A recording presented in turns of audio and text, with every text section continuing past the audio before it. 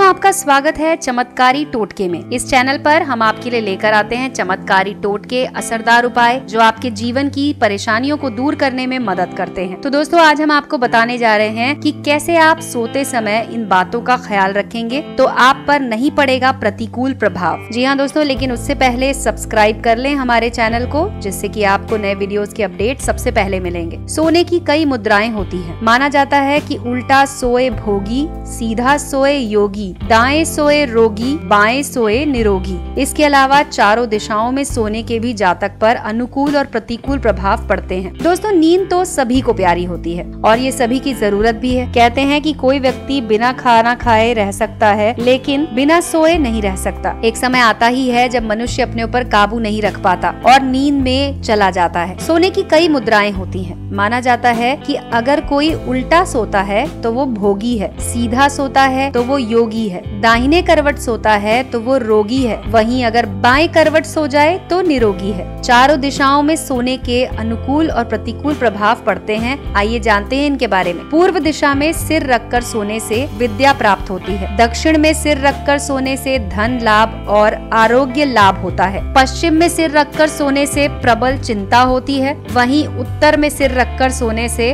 मृत्यु कारक हानि होती है। सोते समय दोस्तों, याद रखें कि मस्तक और पाँव की तरफ़ दीपक नहीं रखना चाहिए। दीपक रखें भी तो दाई या बाई तरफ़ रखें। संध्या काल में नहीं सोना चाहिए। बेड पर बैठे बैठे निद्रा नहीं लेनी चाहिए। द्वार के चौखट पर मस्तक रखकर नींद ना लें। हृदय पर छाती पर हाथ रखकर ना सोएँ, वहीं बीम के नीचे ना सोएँ। पाँव की ओर बेड ऊँचा हो तो अशुभ है। केवल चिकित्सीय उपचार के लिए इसकी छूट है। बेड पर बैठकर खाना पीना अशुभ माना जाता है। वहीं दोस्तों, अगर आपके ललाट पर तिलक लगा है तो ऐसा सोना अशुभ माना गया है। सोने से पहले अपना तिलक हटा दें। जी हाँ दोस्तों, ये थी कुछ सावधानियाँ। अगर आप बरतेंगे तो आपके जीवन पर प्रतिकूल प्रभाव नहीं पड़ेगा। अगर आपको हमारा ये वीडियो पसंद आया हो तो इसे लाइक करें और अपने दोस्तों के साथ शेयर करें। जुड़े रहें चमत्कारी टोटके के साथ।